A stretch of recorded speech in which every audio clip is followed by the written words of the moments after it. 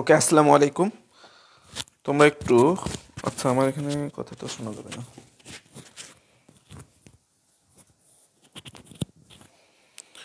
আচ্ছা তোমরা একটু কমেন্ট করো যে আমার কথা শোনা যাচ্ছে কিনা।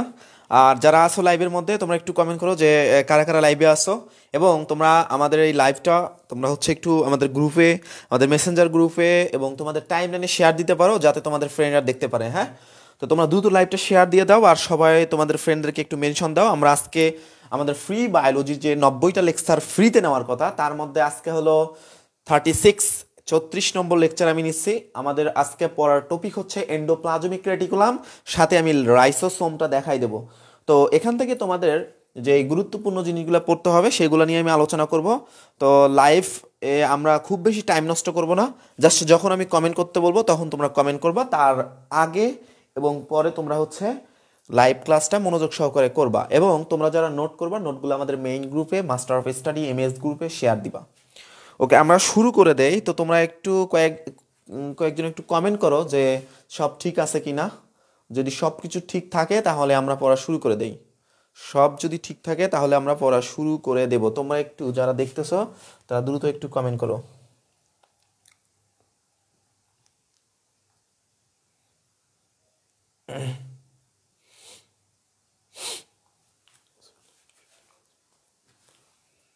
কমেন্ট আসতেছে না কেন?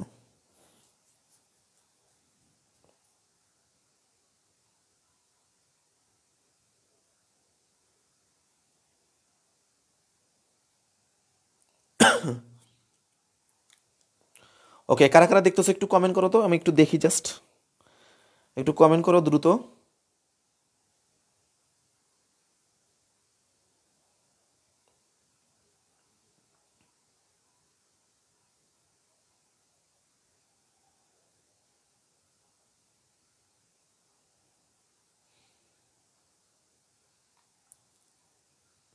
ওকে হৃদয় বলছে সব কিছু ঠিক আছে। আচ্ছা তাহলে সব কিছু যেহেতু ঠিক আছে, আমরা একটু দেখি।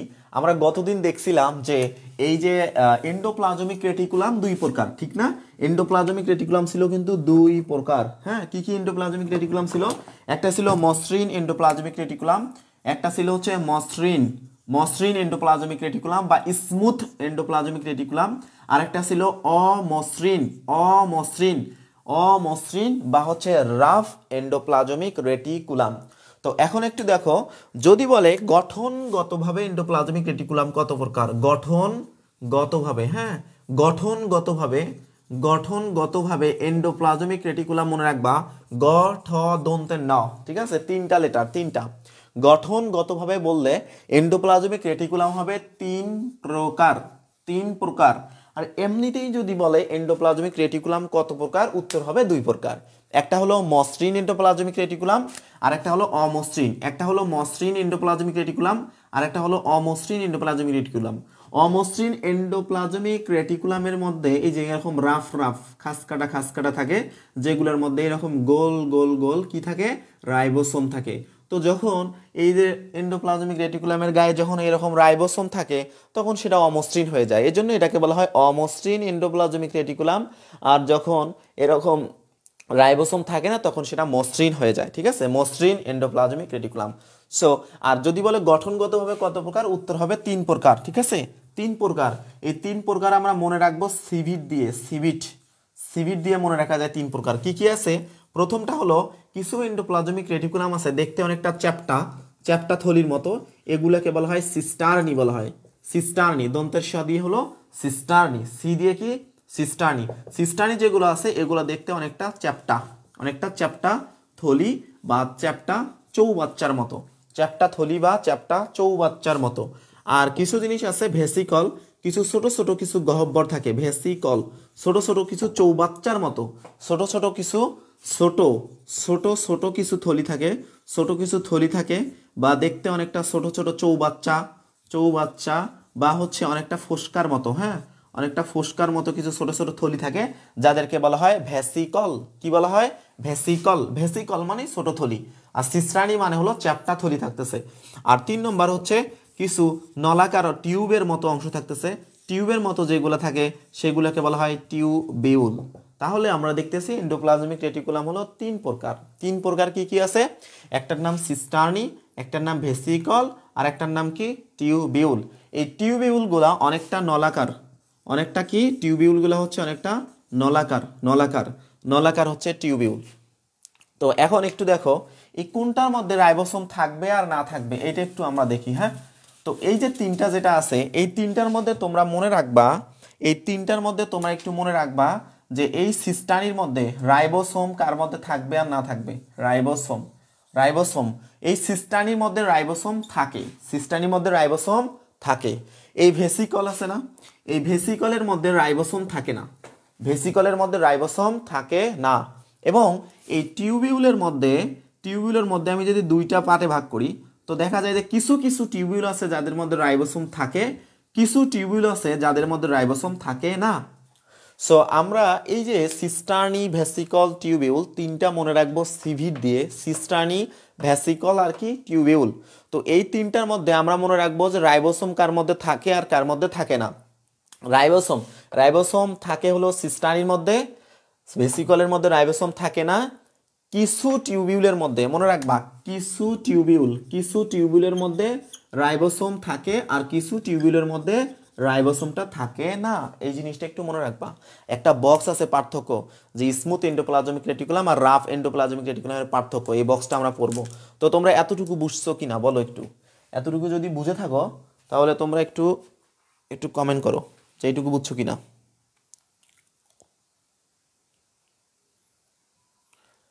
এটুকু কি বুঝছ?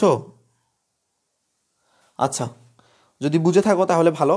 এখন দেখো নেক্সট যে জিনিসটা সেটা হলো যে এই যে তোমাদের এন্ডোপ্লাজমিক রেটিকুলাম এই এন্ডোপ্লাজমিক রেটিকুলামের কাজটা কিন্তু খুব গুরুত্বপূর্ণ। কাজের আগে এর হচ্ছে রাসায়নিক গঠন থেকে একটা জিনিস মনে রাখতে হবে। এই এন্ডোপ্লাজমিক রেটিকুলামের রাসায়নিক গঠনে রাসায়নিক গঠন, এটা একটু মনে রাখবা। আমরা জানি যে রাসায়নিক গঠন যখন আমরা লিখব, রাসায়নিক রাসায়নিক গঠন এন্ডোপ্লাজমিক রেটিকুলামের যে রাসায়নিক গঠন আছে, তোমরা একটু আচ্ছা হিমেল বলছে রিক্যাপ করতে। তুমি মনে হয় পরে আসছো, আর একটু দেখে নিও। তারপর আমি একবার বলি হ্যাঁ? আমরা বলতেছিলাম যে এন্ডোপ্লাজমিক রেটিকুলাম গঠনগতভাবে তিন প্রকার। এটা আমরা মনে রাখব সিভিট দিয়ে। একটা হলো সিস্টার্নি, একটা হলো ভেসিকল, আর একটা হলো টিউবিউল। এই তিনটে আমরা পড়লাম হ্যাঁ? আচ্ছা এখন আমরা দেখি যে এন্ডোপ্লাজমিক রেটিকুলামের যে রাসায়নিক গঠন আছে, এই রাসায়নিক গঠনের ক্ষেত্রে, এই রাসায়নিক গঠনের ক্ষেত্রে মনে রাখবা, আমরা তো জানি যে সকল রাসায়নিক গঠনের ক্ষেত্রে প্রোটিন থাকবে, আর কি থাকে বলো দেখি? প্রোটিন থাকে প্রোটিন থাকে, আর হচ্ছে লিপিড থাকে। প্রোটিন আর কি থাকে? লিপিড থাকে। সবসময় প্রোটিনটা বেশি। যে কোনো যে কোনো অঙ্গাণুর ক্ষেত্রে প্রোটিনটা অলওয়েজ অলওয়েজ বেশি থাকবে প্রোটিন। প্রোটিন বেশি থাকে। এবং এর মধ্যে কিছু এনজাইম থাকে এনজাইম তো তোমরা মনে রাখবা, এই এন্ডোপ্লাজমিক রেটিকুলামের মধ্যে এনজাইম থাকে পনেরো ধরনের। এনজাইম কত ধরনের থাকে? পনেরো ধরনের এনজাইম থাকে। পনেরো ধরনের এনজাইম থাকে এন্ডোপ্লাজমিক রেটিকুলামে এবং প্রোটিনগুলা অনেক বেশি থাকে লিপিডের চাইতে। আচ্ছা তোমরা যদি এতটুকু বুঝো, এখন আমরা বলব এন্ডোপ্লাজমিক রেটিকুলামের কাজ। কাজগুলো কিন্তু তোমরা একটু বুঝে বুঝে পড়বা। এই অধ্যায়ের কাজগুলো কিন্তু খুবই গুরুত্বপূর্ণ। কোন অঙ্গাণু কি কাজ করে? এখন দেখি এন্ডোপ্লাজমিক রেটিকুলামের কাজ কি আসছে। Endoplasmic reticulum. আমরা তো জানি যে এন্ডোপ্লাজমিক রেটিকুলাম দুই ধরনের। একটা আছে মসৃণ এন্ডোপ্লাজমিক রেটিকুলাম আর একটা আছে হলো অমসৃণ এন্ডোপ্লাজমিক রেটিকুলাম তো দেখো, মসৃণ যে এন্ডোপ্লাজমিক রেটিকুলামটা কখন মসৃণ বলতেছি আর কখন অমসৃণ বলতেছি? যখন এন্ডোপ্লাজমিক রেটিকুলামের গায়ে রাইবোসোম থাকবে, এরকম ছোট্ট ছোট্ট অংশ, গোল গোল অংশ, এগুলোর নাম কি? Ribosome ribosome ribosome. আচ্ছা যখন রাইবোসোম থাকতেছে তখন তো অমসৃণ, আর যখন রাইবোসোম থাকতেছে না তখন মসৃণ হয়ে যাইতেছে। সো একটু দেখো, এই যে অমসৃণ যে এন্ডোপ্লাজমিক রেটিকুলাম আছে এদের মধ্যে যেহেতু রাইবোসোম আছে, আর আমরা জানি যে প্রোটিন ফ্যাক্টরি বলা হয় রাইবোসোমকে। কারণ কি? কারণ হলো রাইবোসোমের মধ্যে প্রোটিন তৈরি হয়। তাহলে এখানে এই যে রাইবোসোমগুলো আছে, এগুলোর মধ্যে প্রোটিন তৈরি হইতেছে এবং অমসৃণ এন্ডোপ্লাজমিক রেটিকুলাম কি করতেছে? রাইবোসোমগুলোকে বহন করতেছে। সো অমসৃণ এন্ডোপ্লাজমিক রেটিকুলামের কাজ হলো এরা রাইবোসোম বহন করে। কি করে এরা? এরা হলো রাইবোসোম বহন করে। তাহলে এদের কাজ হলো রাইবোসোম বহন করা। এক দুই নম্বর কাজ হলো, এরা হলো প্রোটিন তৈরি করে, প্রোটিন। মনে রাখবা, যারা প্রোটিন তৈরি করে, তারা এনজাইমও তৈরি করে। সো এরা প্রোটিন আর কি তৈরি করে বলো? এনজাইম তৈরি করে। এরা হলো প্রোটিন ও এনজাইম তৈরি করে এবং এরা রাইবোসোম বহন করে। এই দুটি কথা তোমরা মনে রাখবা, মাথায় রাখবা। তাহলে অমসৃণ এন্ডোপ্লাজমিক রেটিকুলাম প্রোটিন ও এনজাইম তৈরি করে, রাইবোসোম বহন করে। আর মসৃণ এন্ডোপ্লাজমিক রেটিকুলাম, এরা কি করে? এরা হচ্ছে হরমোন। হরমোন তৈরি করে হরমোন তৈরি করে আর হচ্ছে লিপিড তৈরি করে। এরা হচ্ছে হরমোন ও লিপিড তৈরি তৈরি করে। এই কথাটা মাথায় রাখতে হবে। তাহলে আমরা এখানে দুইটা পয়েন্ট দিতে পারব কাজের, ঠিক আছে?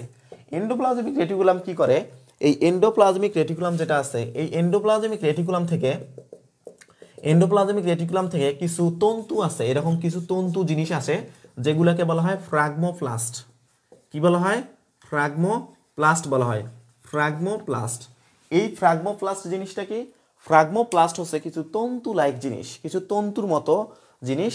এই ফ্র্যাগমোপ্লাস্ট কি করে?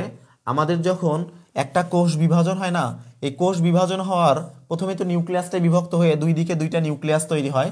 নিউক্লিয়াসটা তৈরি হওয়ার পর এই কোষঝিলিটা ভিতরের দিকে ভাঁজ হয়ে যায়। কোষঝিলিটা ভিতরের দিকে ভাঁজ হয়ে তার মাঝখানে কি একটা প্লেট তৈরি হয় না? এটার নাম আমরা জানি কি? কোষ প্লেট। কোষ প্লেট কোষ প্লেট। তাহলে এই যে ফ্রাগমোপ্লাস্টটা আসতেছে কোথা থেকে? বলো দেখি এন্ডোপ্লাজমিক রেটিকুলাম থেকে। এই এন্ডোপ্লাজমিক রেটিকুলাম থেকে যে ফ্রাগমোপ্লাস্ট আসতেছে, সেই ফ্রাগমোপ্লাস্ট আবার কি তৈরি করতেছে?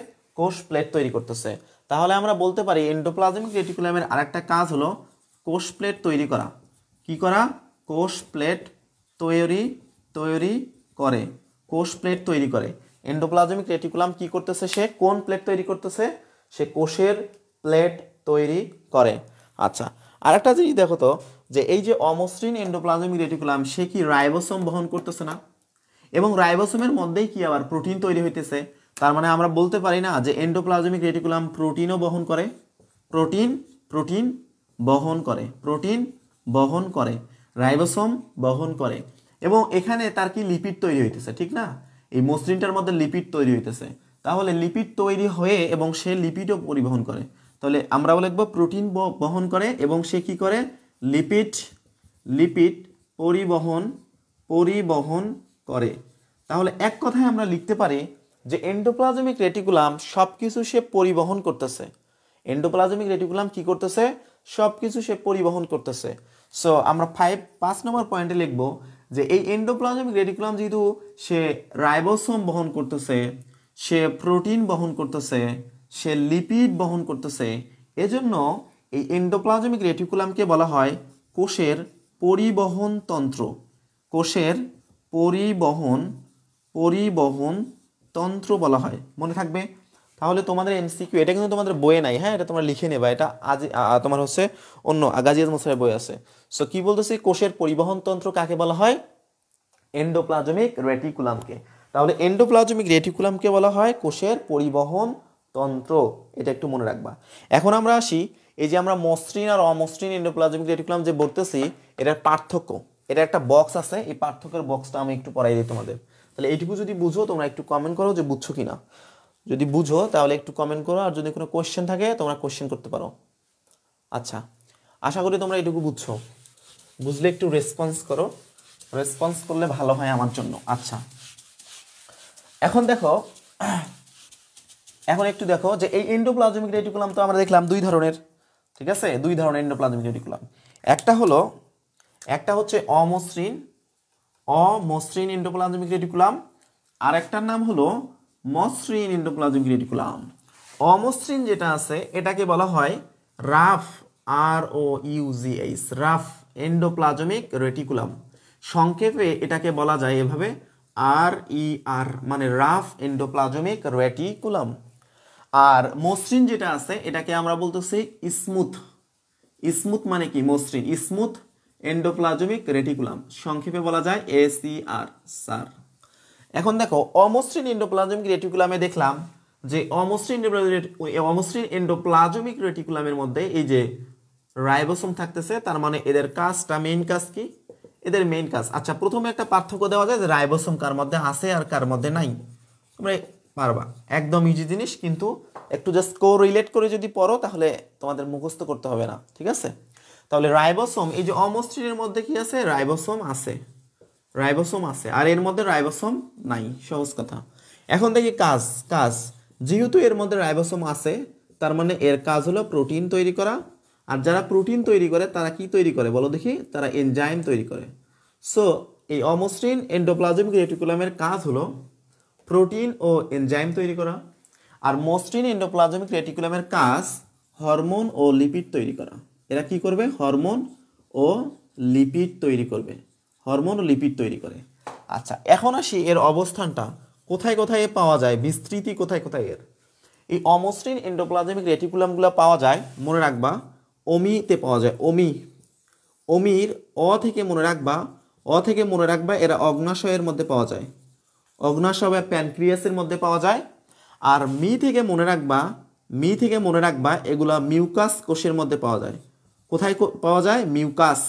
মিউকাস যে আছে পিচ্ছিল পদার্থ, এই পিচ্ছিল জিনিসগুলোর মধ্যে আমরা পাই। সো এর অবস্থানটা আমরা দেখলাম যে অমি দিয়ে, অর্থাৎ অগ্নাশয় ও মিউকাসের মধ্যে পাই। অমি অমি থেকে অগ্নাশয়, মিউকাস। আর মসৃণটা পাওয়া যায়, পি এ এল, পাল থেকে মনে রাখা মনে রাখা যায়। পি দিয়ে মনে রাখবা পেশি কোষের মধ্যে পাই আমরা। পেশি কোষ, এগুলো এমসিকিউর জন্য গুরুত্বপূর্ণ হ্যাঁ? পেশি কোষে পাই পেশি কোষ এবং এ দিয়ে মনে রাখবা অ্যাড্রেনাল অ্যাড্রেনাল অ্যাড্রেনাল গ্রন্থি। অ্যাড্রেনাল নামে একটা গ্রন্থি আছে হ্যাঁ?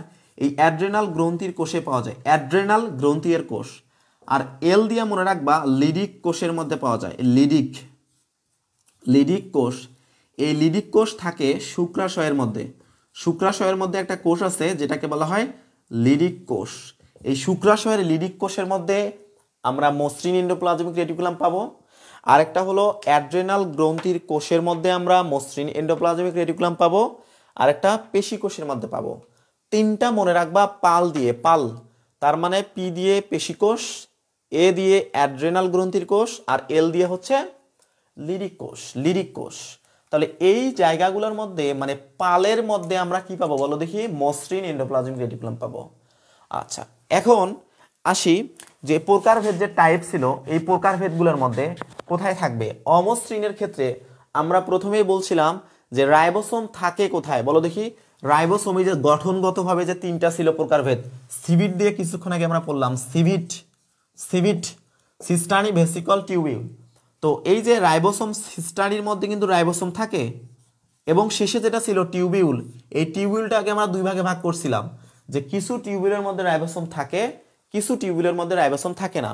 সো সিস্টানি ও কিছু টিউবিউল, সিস্টানি ও কিছু টিউবিউল, সিস্টানি ও কিছু টিউবিউলের মধ্যে রাইবোসোম যুক্ত, তার মানে সিস্টানি ও কিছু টিউবিউল হলো অমসৃণ এন্ডোপ্লাজমিক রেটিকুলাম আর মসৃণ এন্ডোপ্লাজমিক রেটিকুলাম হচ্ছে কিছু টিউবিউল কিছু টিউবিউল কিছু টিউবিউল ও ভেসিকল। ভেসিকলের মধ্যে কিন্তু রাইবোসোম নাই রাইবোসোম নাই। তার মানে ভেসিকলটা হচ্ছে মসৃণ এন্ডোপ্লাজমিক রেটিকুলাম ঠিক আছে? তাহলে কিছু টিউবিউল ও ভেসিকল ভেসিকল, ঠিক আছে?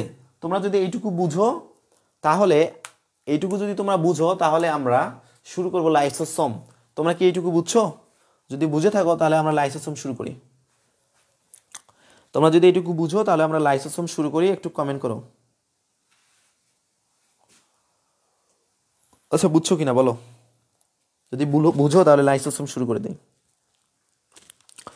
তাহলে আমি যদি আরেকবার একটু বলি, তোমরা একটু কমেন্ট করে, বুঝছ কিনা? কোনো প্রবলেম থাকে? বলো। আচ্ছা এন্ডোপ্লাজমিক রেটিকুলাম অমসৃণ আর হলো কি মসৃণ। অমসৃণ মানে হলো রাফ আর মসৃণ মানে হলো স্মুথ সো এটা রাফ এন্ডোপ্লাজমিক রেটিকুলাম এটা স্মুথ এন্ডোপ্লাজমিক রেটিকুলাম অমসৃণ মানে রাফ কেন? কেন রাফ? কারণ রাইবোসোম আছে। রাইবোসোম আছে, এরা মসৃণ কেন? কারণ রাইবোসোম নাই। এটা হচ্ছে তোমার অমসৃণ, রাইবোসোম আছে, তার মানে কাজটা হবে রাইবোসোমের কাজ প্রোটিন তৈরি করা, সোয়ের কাজ প্রোটিন তৈরি করা, আর মসৃণের কাজ হলো হরমোন লিপিড তৈরি করা। আচ্ছা এ অবস্থান কোথায়? অমি, আমি আমি দিয়ে মনে রাখবা, অ দিয়ে মনে রাখবা অগ্নাশয় কোষ আর মি মি হচ্ছে মিউকাস কোষের মধ্যে পাওয়া যায়। আর মসৃণটা পাওয়া যায় পাল মানে পেশি কোষ, পি দিয়ে পেশি কোষ, এ দিয়ে অ্যাড্রেনাল গ্রন্থির কোষ, ল দিয়ে হলো লিরিক কোষ। লিরিক কোষের মধ্যে পাওয়া যায়। আচ্ছা আর কোথায় এগুলো তো পাওয়াই তোমার? সিস্টার্নি ভেসিকল টিউবুল, পড়াইলাম। আচ্ছা তাহলে আমরা মুছে দেয় এখন আমরা শুরু করব। খুবই গুরুত্বপূর্ণ একটা টপিক তোমাদের পরীক্ষা খ নম্বরে অনেক ক্ষেত্রে আসে যে লাইসোসোমকে কেন আত্মঘাতী থলিকা বলা হয়? ফ্যাগোসাইটোসিস বলতে কি বুঝো? অটোলাইসিস কি? লাইসোসোম কাকে বলে? হাইড্রোলাইটিক এনজাইমের ধারক কে? কোথায় হাইড্রোলাইটিক এনজাইম থাকে? কেরাটিন তৈরি করে কে? ক্যান্সার তৈরি করে কে? এরকম অনেক কোশ্চেন আসে। সেই কোশ্চেনগুলোর উত্তর তোমরা পারবা পারবা। যদি তোমরা এখন দেখো যে টপিকটা আমি পড়াবো এখন। এখন আমরা যেটা পড়ব, এর নাম হলো লাইসোসোম। ঠিক আছে? একটু মনোযোগ দাও, তাহলে দেখবা যে একদম ইজি লাইসোসোম। লাইসোসোম। লাইসোসোম। দেখো, এই যে লাইসো লাইসো কথাটার অর্থ হলো হজমকারী। লাইসো কথাটার অর্থ হলো হজমকারী। আর সোম, এই সোম মানে হলো অঙ্গাণু মানে বডি বডি বা দেহ। বডি বা দেহ বা হচ্ছে অঙ্গাণু অঙ্গাণু। তাহলে এমন একটা অঙ্গাণু যেটা অন্য কিছুকে হজম করে ফেলবে। তাহলে এরকম একটা এক স্তরী অঙ্গাণু আছে সাইটোপ্লাজমের মধ্যে, যার ভিতরে কিছু একটা জিনিস আছে, কিছু একটা জিনিস আছে, সেই জিনিসটা কি করে? যে কোনো কিছুকে পেলে সে খেয়ে ফেলে, হজম করে ফেলে।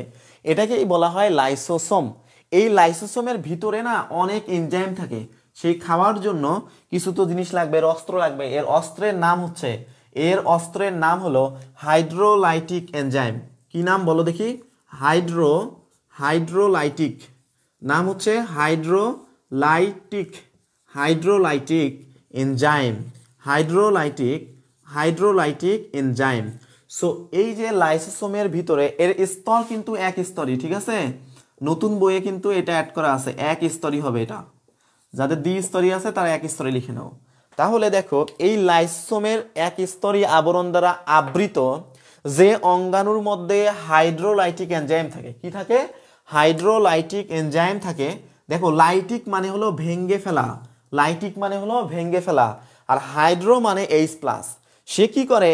অম্লীয় পরিবেশে মানে এইচ প্লাস পরিবেশে যে কোনো জিনিসকে ভেঙ্গে ফেলে, হজম করে ফেলে, এজন্য এর নাম হলো লাইসোসোম সো তোমরা ইজিলি মনে রাখবা যে যে অঙ্গাণু হাইড্রোলাইটিক এনজাইমের আধার হিসেবে কাজ করে, তাহলে হাইড্রোলাইটিক এনজাইমে কি হিসেবে কাজ করে বলো দেখি? আধার হিসেবে কাজ করে। তাকে বলা হয় লাইসোসোম লাইসোসোম কাকে বলে? যারা হাইড্রোলাইটিক এনজাইমের আধার হিসেবে কাজ করে। এই লাইসোসোমের উৎপত্তি তোমরা যদি আগের লেকচার করে থাকো তাহলে পারবা। পিএম মানে প্লাজমা মেমব্রেন মানে কোর ঝিল্লি। প্লাজমা মেমব্রেন থেকে আসে এন্ডোপ্লাজমিক রেটিকুলাম। এন্ডোপ্লাজমিক রেটিকুলাম থেকে আসে গোলগি বডি। আর গোলগি বডি থেকে আসে লাইসোসোম। লাইসোসোমের উৎপত্তি তাহলে কি বলো দেখি? গোলগি বডি, ঠিক আছে? তাহলে এর উৎপত্তি আমি যদি বলি, উৎপত্তি, কোথা থেকে এর উৎপত্তি? এর উৎপত্তি হচ্ছে গোলগি বডি থেকে। গোলগি বডি থেকে এই হাইড্রোলাইটিক এনজাইমের আধার নামক অঙ্গাণুটা উৎপত্তি হয় গোলগি বডি থেকে। এবং একটা জিনিস এখানে মনে রাখতে হবে, একজন বিজ্ঞানী নাম নাম হলো Christian de Duve. Christian Christian de Duve. এই ক্রিশ্চিয়ান দা দুবে, ইনি এটা আবিষ্কার করেন। এই অঙ্গাণুটি আবিষ্কার করেন ক্রিশ্চিয়ান দা দুবে। এখন আমরা ভৌত গঠনে চলে যাই হ্যাঁ? এখন আমরা লাইসোসোমের ভৌত গঠন পড়ব। তোমাদের সৃজনশীলে বহুবার আসছে যে রাইবোসোম এবং লাইসোসোমের মধ্যে পার্থক্য কি? এজন্য লাইসোসোমটা খুবই গুরুত্বপূর্ণ। তোমাদের বোর্ড পরীক্ষার জন্য খুব, খুবই গুরুত্বপূর্ণ। তাহলে আমি একটু মুছে দেই। তোমরা এখন বলো, তাহলে লাইসোসোমের মধ্যে কোন এনজাইম থাকে? লাইসোসোমের মধ্যে যে এনজাইমগুলো থাকে, সবগুলো এনজাইমকে কি বলা হয়? কি বলা হয়? একটু কমেন্ট করে দেখি পারো কিনা তোমরা। আচ্ছা এখন দেখো, এখন একটু দেখো মনোযোগ দাও। এই লাইসোসোমের মধ্যে বিস্তৃতি, লাইসোসোম কোথায় পাওয়া যায়? লাইসোসোমের বিস্তৃতি, খুবই গুরুত্বপূর্ণ এই জিনিসটা, লাইসোসোমের বিস্তৃতি। লাইসোসোমের বিস্তৃতি মনে রাখবা, লাইসোসোম না ডাব্লু বিসিতে বেশি থাকে। ডাব্লু তে বেশি থাকে, কিন্তু আরবিসি বা লোহিত রক্তকণিকায় থাকে না। লোহিত রক্তকণিকায় নাই, লোহিত রক্তকণিকায় নাই। আরবিসিতে ডাব্লুবিসি মানে হোয়াইট ব্লাড সেল মানে হলো শ্বেত রক্তকণিকা। শ্বেত রক্ত। শ্বেত রক্তকণিকায় বেশি থাকে। কারণ আমরা তো জানি যে কোনো জীবাণুকে ধ্বংস করার কাজটাই করে শ্বেত রক্তকণিকা। আর লাইসোসোমের কাজটাও সেম। এই জন্য ডাব্লিউবিসি দ্বারা বেশি আরবিসিতে একদম নাই। আরবিসিতে থাকে না। খুবই গুরুত্বপূর্ণ। এখন দেখো, উদ্ভিদ কোষের ক্ষেত্রে, উদ্ভিদ কোষের ক্ষেত্রে এরা সকল প্রাণী কোষে থাকে হ্যাঁ? সকল সকল প্রাণী কোষের মধ্যেই লাইসোসোম থাকে। সকল প্রাণী কোষের মধ্যেই থাকে। কিন্তু উদ্ভিদ কোষে বিজ্ঞানীরা সম্প্রতি আবিষ্কার করছে যে এক স্তরে আবৃত লাইসোসোমের ন্যায়, লাইসোসোম, লাইসোসোমের লাইসোসোমের ন্যায় একটা অঙ্গাণু পাওয়া গেছে, যার নাম হলো এসফেরোসোম। যার নাম এসফেরো, এসফেরোসোম বা একে বলা হয় ওলিওসোম। কি বলা হয়? ওলিওসোম। এসপ্রোসোম এসফেরোসোম বা ওলিওসোম বলা হয়। দেখো অলিও থেকে, দেখো অলিওসোম অলিওসোম থেকে মনে রাখবা অলিও থেকে অয়েল। অলিও থেকে কি? অয়েল। অয়েল মানে কি বলো দেখি? অয়েল মানে হচ্ছে তৈল বা তেল। অর্থাৎ তৈলযুক্ত বস্তুগুলাকে আবদ্ধ করে ফেলা। তৈলযুক্ত বস্তুগুলাকে আবদ্ধ করে ফেলাই হচ্ছে বা ঝিল্লিবদ্ধ করে ফেলাই হলো এই অলিওসোমের কাজ। তাহলে সহজ কথায় মনে রাখবা, উদ্ভিদ কোষে যে লাইসোসোমটা আছে, এর নাম লাইসোসোম না। এর নাম কি? এর নাম হলো এসফেরোসোম বা অলিওসোম। এসফেরোসোম বা অলিওসোম সেম জিনিস। অলিওসোম থেকে অয়েল অয়েল থেকে মনে রাখবা তৈলযুক্ত। তাহলে তোমাদেরকে যদি প্রশ্ন করা হয়, তৈলযুক্ত তৈলযুক্ত বা তৈল জাতীয় পদার্থগুলোকে হজম করে বা ঝিল্লিবদ্ধ করা কার কাজ? লাইসোসোমের কাজ। এখন আমরা আসি এই লাইসোসোমের রাসায়নিক গঠন আর ভৌত গঠনে।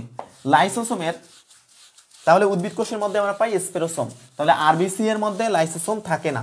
এখন একটু দেখো, মনোযোগ দাও। এখন একটু দেখো যে এই লাইসোসোমের ভৌত গঠন ভৌত গঠন, ভৌত গঠনের ক্ষেত্রে দুইটি জিনিস মনে রাখবা তোমরা। একটার নাম হচ্ছে লেবিলাইজার একটা নাম স্টেবিলাইজার স্টেবিলাইজার, আর একটা হচ্ছে লেবিলাইজার। লেবিলাইজার, দুইটা জিনিস কি? দেখো একটু। স্টেবিলাইজার স্টেবিলাইজার, স্টেবি থেকে মনে রাখবা স্টেবল। স্টেবল মানে কি? বলো দেখি। স্টেবল মানে স্থিতিদান স্থিতিদান। অর্থাৎ লাইসোসোমের যে প্রাচীরটা আছে, এই প্রাচীরকে যেই জিনিসগুলা স্থিতি দিবে, স্থিতি দান করে, অর্থাৎ যারা স্থিতি দান করে, যারা লাইসোসোমকে কি করে?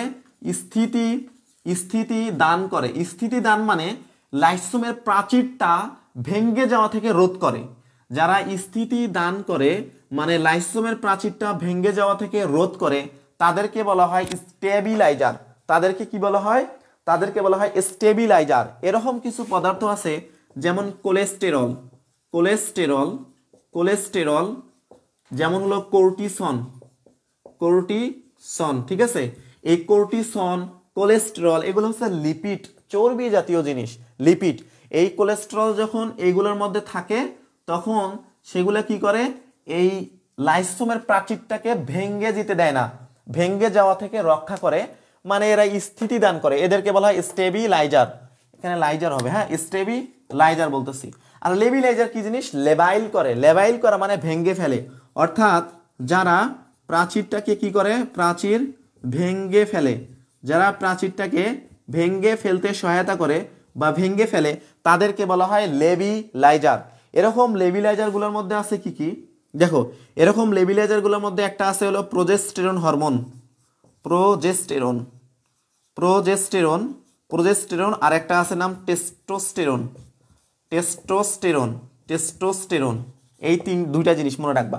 তাহলে স্টেবিলাইজার কি আর লেবিলাইজার কি? এগুলো কিন্তু নতুন বইয়ে ইনফরমেশন আছে। এই জন্য তোমরা একটু যারা নতুন, পুরাতন বই পড়তেছো, তারা এগুলা লিখে রাখবা, ঠিক আছে? তারা এগুলো লিখে নিবা। তাহলে এইটুকু তোমরা বুঝছ কিনা একটু বলো। এইটুকু সবাই বুঝছ? এইটুকু যদি বুঝো, এখন আমরা একটু দেখি রাসায়নিক গঠন। তাহলে দুটা জিনিস মনে রাখবা, ভৌত গঠনে স্টেবিলাইজার আর লেবিলাইজার স্টেবিলাইজার কি জিনিস আর লেবিলাইজার কি জিনিস? এই দুটো জিনিস মনে রাখবা। এখন একটু দেখি আমরা রাসায়নিক গঠন। এই লাইসোসোমের রাসায়নিক গঠন। দেখো, রাসায়নিক রাসায়নিক গঠন। রাসায়নিক গঠনের ক্ষেত্রে সোজা কথা, সবগুলোর ক্ষেত্রে কি থাকে বলো দেখি? প্রোটিন থাকে আর কি থাকে? লিপিড থাকে। প্রোটিন আর লিপিডের মধ্যে বেশি থাকবে কোনটা? প্রোটিনটা বেশি থাকবে। এবং এখানে এনজাইম থাকে অনেক। এই এনজাইমের এনজাইমগুলো কত ধরনের থাকে? মনে রাখবা, চল্লিশ থেকে পঞ্চাশ ধরনের এনজাইম চল্লিশ থেকে পঞ্চাশ ধরনের এনজাইম থাকে। তিনটা কথা মনে রাখবা। একটা হলো মাইটোকন্ড্রিয়া আমি যদি এখানে একটু লিখি। একটা হলো মাইটো মাইটোকন্ড্রিয়া মাইটোকন্ড্রিয়া একটা হলো লাইসোসোম লাইসো লাইসোসোম আরেকটা হলো এখানে লিখি সংক্ষেপে এন্ডোপ্লাজমিক রেটিকুলাম এন্ডোপ্লাজমিক রেটিকুলাম এই তিনটার ক্ষেত্রে এনজাইমে কতগুলো থাকে এনজাইম কত ধরনের থাকে এটা মনে রাখতে হবে। মাইটোকন্ডিয়াতে এনজাইম থাকে একশো ধরনের। কত ধরনের? একশো ধরনের। আর লাইসোসোমের মধ্যে এনজাইম থাকে পনেরো ধরনের। আর এন্ডোপ্লাজমিক রেটিকুলামের মধ্যে এনজাইম থাকে চল্লিশ থেকে পঞ্চাশ ধরনের। এন্ডোপ্লাজমিক রেটিকুলামে এন্ডোপ্লাজমিক রেটিকুলামে এনজাইম থাকবে চল্লিশ থেকে পঞ্চাশ ধরনের। লাইসোসোমে পনেরো ধরনের, মাইটোকন্ড্রিয়াতে একশো ধরনের। কারণ মাইটোকন্ড্রিয়াতে অনেক বেশি শক্তি তৈরি হয়। এর জন্য ওখানে অনেক বেশি এনজাইম লাগে। আচ্ছা এখন আমরা লাইসোসোমের কাজটা পড়ি কাজ। লাইসোসোমের কাজ। লাইসোসোমের কাজ। খুবই গুরুত্বপূর্ণ, দেখো। লাইসোসোমের কাজ। প্রথমেই বলি যে লাইসোমের ভিতরে কি ধরনের এনজাইম থাকে বলো দেখি। লাইসোমের ভিতরে যে এনজাইমটা থাকে, ফারহাদ বলছে হৃদয় হৃদয় ফারহাদ বলছে, এই লাইসোসোমের ভিতরে যে এনজাইমগুলো থাকে, এই এনজাইমগুলোকে একত্রে বলা হয় hydrolytic enzyme hydrolytic hydrolytic enzyme hydrolytic enzyme আচ্ছা এখন একটা জিনিস দেখো, এই হাইড্রোলাইটিক এনজাইমগুলো মনে রাখবা, এরা অম্লীয় পরিবেশে কাজ করে সব সময় এরা অম্লীয় পরিবেশে কাজ করে। অম্লীয় পরিবেশে কাজ করে, অম্লীয় পরিবেশে কাজ করে। তো দেখো, যে এটা যদি একটা কোষ হয়, এই কোষের ভিতরে কোষের ভিতরে মনে করো এদিকে কোষ গহ্বর উদ্ভিদের ক্ষেত্রে ধরে নাও, না, প্রাণীর ক্ষেত্রে ধরি, যে এখানে ধরো তোমার নিউক্লিয়াস আছে, নিউক্লিয়াস, ঠিক আছে? এদিকে নিউক্লিয়াস আছে, আবার এইদিকে ধরো যে একটা লাইসোসোম আছে, ধরো এখানে একটা লাইসোসোম, এইদিকে তোমার আছে ধরো মাইটোকন্ড্রিয়া হ্যাঁ? মাইটোকন্ড্রিয়া আছে মাইটোকন্ড্রিয়া আছে, আর এইদিকে ধরো যে আরও অন্যান্য ধরো যে পারক্সিসম নামক বিভিন্ন ধরনের অঙ্গাণু আছে ধরো এইদিকে আছে, ধরো এখানে আছে এন্ডোপ্লাজমিক রেটিকুলাম এন্ডোপ্লাজমিক রেটিকুলাম এদিকে রাইবোসোম আছে। আচ্ছা একটু দেখো এটা বোঝার বিষয় যে এই যে এই যে এই লাইসোসোমের মধ্যে কি আছে বলো দেখি হাইড্রোলাইটিক এনজাইম আছে। তো এরা সবসময় অম্লীয় পরিবেশে কাজ করে। যখন এদের কাজের প্রয়োজন হয়, তখন এরা সাইটোপ্লাজম থেকে এইচ প্লাস ভিতরে নেয়, নিয়ে কাজ করে। কারণ অম্লীয় পরিবেশে তাকে কাজ করতে হবে। তো যখন দেখা যায়, যখন দেখা যায় খুবই খাদ্যের অভাব, ঠিক আছে? যখন খাদ্যের অভাব হয়, কোষ তো খাদ্য লাগবে। কোষের মধ্যে যখন খাদ্যের অভাব হয়, খাদ্যের অভাব মানে পুষ্টির অভাব হয়, তখন কি হয়, এই লাইসোমের প্রাচীরটা ফেটে যায়। তাহলে লাইসোমের প্রাচীর ফেটে যায়, ঠিক আছে? প্রাচীর প্রাচীর ফেটে যায়, ফেটে ফেটে যায়। যখন প্রাচীরটা ভেঙে যাবে, প্রাচীর ভেঙে যাবে, তখন কি হবে, এই লাইসোসোমের ভিতরে যে হাইড্রোলাইটিক এনজাইমগুলো ছিল, সেগুলো বাইরে বের হয়ে আসবে। তাহলে মনে করো, এনজাইমগুলো কি? বাইরে বের হয়ে আসলো। যখন বাইরে বের হয়ে আসবে, তাহলে দেখো এনজাইম এনজাইম এনজাইম কোথায় আসবে? বাইরে বের হওয়া মানে কোথায় আসবে বলো দেখি? সাইটোপ্লাজমে আসবে। সাইটো প্লাজমে সাইটো প্লাজমে আসবে। তাহলে ওর প্রাচীর বিদীর্ণ হয়ে গেছে মানে ও শেষ। তাহলে ও আত্মহত্যা করছে। তাহলে লাইসোসোমের প্রাচীর শেষ মানে লাইসোসোমের মৃত্যুবরণ করছে। অর্থাৎ লাইসোসোম শেষ লাইসোসোম ধ্বংস। এখন লাইসোসোমের ভিতরে যে এনজাইমগুলো আছে, সেগুলো বের হয়ে এই যে সাইটোপ্লাজমের যে অন্যান্য অঙ্গাণু আছে, এইগুলাকে ধ্বংস করবে। এগুলা ধ্বংস করবে। এগুলো ধ্বংস করবে, ফলে এক সময় দেখা যাবে পুরা কোষটাই ধ্বংস হয়ে গেছে। এক সময় পুরা কোষটাই ধ্বংস হয়ে যায় ওই হাইড্রোলাইটিক এনজাইমগুলোর কারণে। তাহলে যখন সাইটোপ্লাজমে আসলো, তখন এক সময় পুরা কোষটি ধ্বংস হয়ে যায়। কোষটি ধ্বংস হয়। কোষটি ধ্বংস হয়। অনেকটা আত্মঘাতী বোমা হামলার মতো। আত্মঘাতী বোমা হামলা কি জিনিস? যে সে নিজেও মরবে অন্যকেও মারবে। ঠিক তেমনই লাইসোসোম সে নিজেও মরল, অন্যান্য অঙ্গাণুগুলোকে মারল এবং একসময় কোষটাও মরে গেল, ঠিক না? এজন্য এজন্য লাইসোসোমকে এজন্য লাইসোসোম লাইসোসোমকে বলা হয় আত্মঘাতী থলিকা এজন্য লাইসোসোমকে কি বলা হয়? লাইসোসোমকে বলা হয় আত্মঘাতী আত্মঘাতী থলিকা থলিকা বলা হয় আত্মঘাতী থলিকা বা একে বলা হয় suicidal suicidal squad suicidal squad বলা হয়। এখন দেখো, এই যে লাইসোসোমের প্রাচীরটা যে প্রক্রিয়ায় ফেটে গেল, এটাকে বলা হয় অটোলাইসিস অটোলাইসিস এই জিনিসটাকে বলা হয় অটোলাইসিস অটোলাইসিস লাইসিস মানে ভাঙ্গন। তাহলে লাইসোসোমের প্রাচীর যখন ভেঙে যাবে, সেটাকে বলব আমরা অটোলাইসিস এবং এই লাইসোসোম কি করে? ধরো, একটা ব্যাকটেরিয়া এখানে আছে, একটা ব্যাকটেরিয়া ধরো যে এখানে আছে, এই ব্যাকটেরিয়াটাকে সে কি করবে? মেরে ফেলবে। তাহলে এই যে ব্যাকটেরিয়াকে মেরে ফেলবে কীভাবে? সে হচ্ছে তার ভিতরে এক এই এই এই ব্যাকটেরিয়াকে কি করবে? এই ব্যাকটেরিয়াকে তার ভিতরে ঢুকাই দেবে, ঠিক আছে? লাইসোসোমের ভিতরে সে নেবে, নিয়ে মেরে ফেলবে। অর্থাৎ এই ব্যাকটেরিয়াকে সে কি করল? ভক্ষণ করল না। এই যে কোনো একটা জিনিসকে খেয়ে ফেলার প্রক্রিয়াকে বলা হয় ফ্যাগোসাইটোসিস। কি বলা হয়? ফ্যাগো ফ্যাগো মানে টু ইট, ফ্যাগো মানে টু ইট। টু ইট মানে খেয়ে ফেলা। আর ফ্যাগোসাইট, সাইটোসিস সাইটোসিস সিস মানে হলো প্রক্রিয়া, সাইটো মানে হলো কোষ। অর্থাৎ কোষের এমন একটা প্রক্রিয়া যার সাহায্যে কি করে অন্য একটা কিছুকে খেয়ে ফেলে, তাকে বলা হয় ফ্যাগোসাইটোসিস। আচ্ছা এখন দেখো, এই লাইসোসোমের আরও কিছু কাজ আছে। মনে রাখবা, লাইসোসোম দুইটা ক তৈরি করে। একটা হলো সে কেরাটিন তৈরি করে, কেরাটিন তৈরি করে, আর দুই নম্বরে আরেকটা হলো ক্যান্সার কোষ তৈরি করে। ঠিক আছে? ক্যান্সার কোষ তৈরি করে, কেরাটিন তৈরি করে, আর কি সে কি করে? ক্যান্সার সেল তৈরি করে। ক্যান্সার সেল তৈরি করে। দুইটা ক তৈরি করে। একটা কেরাটিন তৈরি করে, আর একটা ক্যান্সার সেল তৈরি করে। এই জিনিসটা কিন্তু একটু মনে রাখতে হবে। আচ্ছা তো তোমরা এইটুকু যদি বুঝে থাকো, তাহলে আমাদের লাইসোসোম পড়া শেষ এন্ডোপ্লাজমিক রেটিকুলাম পড়া শেষ। এরপরের দিনে আমরা পড়ব, তোমাদের একটা সৃজনশীলে কোশ্চেন প্রচুর পরিমাণে আসছে বোর্ড পরীক্ষায়। সেটা হলো, লাইসোসোম এবং রাইবোসোমের মধ্যে পার্থক্য। এটা আমরা ইনশাআল্লাহ আগামী লেকচারে জানার চেষ্টা করব। তো আজকে এই পর্যন্তই। তোমাদের যদি কোনো কোশ্চেন থাকে, তোমরা কমেন্ট করতে পারো, আমি পরে উত্তর দেবো।